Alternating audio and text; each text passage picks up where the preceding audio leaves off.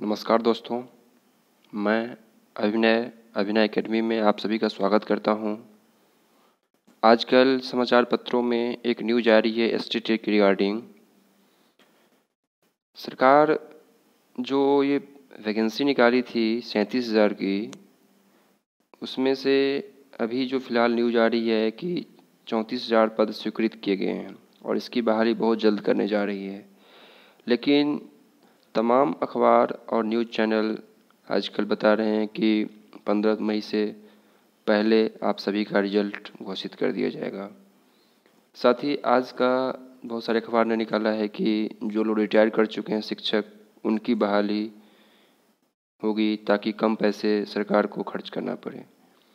तो हम आपको बताना चाहते हैं कि जब तक सरकार के जो चैनल है ऑफिशियल चैनल, उस पर कुछ भी अपडेट नहीं आता है, कुछ भी कहना मुश्किल है। क्योंकि सभी लोग अपनी अपनी राय दे रहे हैं, किसका क्या मत है, सबका मत एक समान नहीं हो सकता। हम लोग तब तक किसी चीज़ पे प्रतिक्रिया या राय नहीं दे सकते, जब तक सरकार के ऑफिशियल जो वेबसाइट है, उस पर कोई अपडेट ना आए। और अभी तक ऐसा कोई अपडेट बिहार सरकार के गवर्नमेंट जो साइट हैं, उस पर नहीं आई है।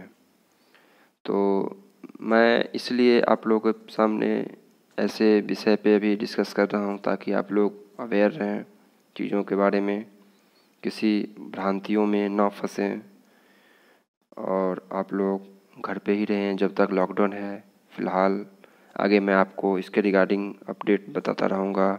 So thank you thank you all the best